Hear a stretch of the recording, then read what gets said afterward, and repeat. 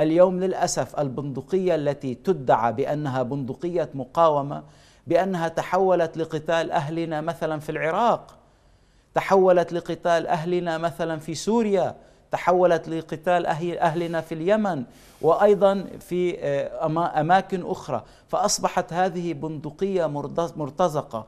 فلا يحسب أحد بأن ما تقدمه إيران من أسلحة وعتاد ومن دعم لوجستي لأي جهة عربية سنية كانت أو شيعية إنما هذا لله أو يكون آه، من دون مقابل. لا ابدا. إيران لديها مشروع واضح وفاضح في الدخول واحتلال الدول العربية من خلال أدوات عربية.